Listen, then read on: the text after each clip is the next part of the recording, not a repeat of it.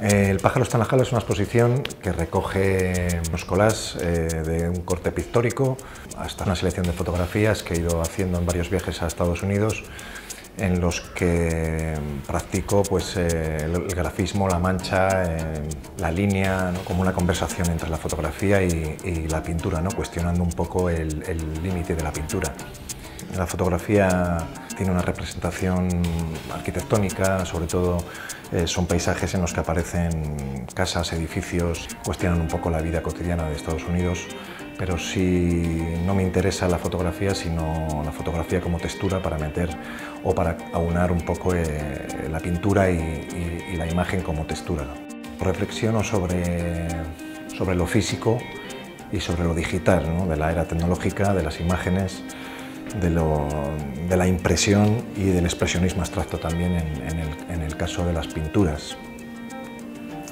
De lo físico, pues de lo manual, del grafismo y de la mancha, que es eh, lo que predomina en mi obra.